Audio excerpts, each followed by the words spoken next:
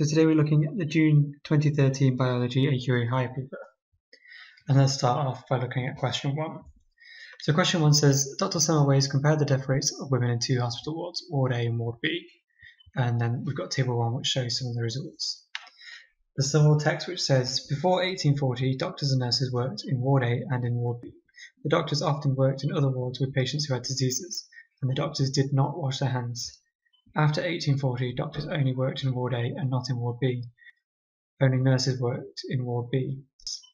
The nurses did not work in the other wards with patients who had diseases. So question 1AI says, look at the data for Ward A and Ward B after 1840.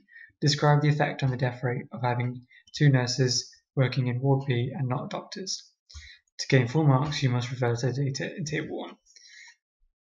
So what this question is basically asking you is to look at the data and be able to describe it. And this is a two mark question.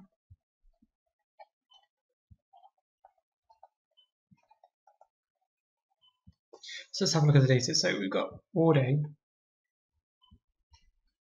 and Ward B. We know that in pre-1840 doctors worked in both Ward A and Ward B and they often didn't wash their hands.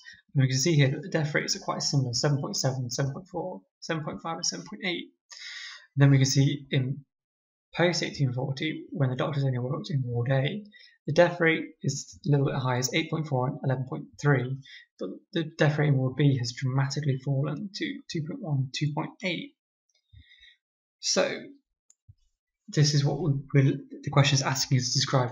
So what we need to put down in the answer is that the death rates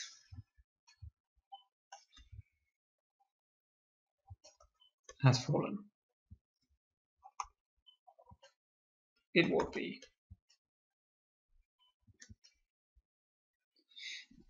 And also it's asking us to get full marks, we need to refer to the data. So we actually need to quote the data. So we could say pre 1840 the death rate was 7.8 in Ward B in 19, 18 in 1836. And then you can say post 1840 and 1844 the death rate is now 2.1 showing a significant decrease.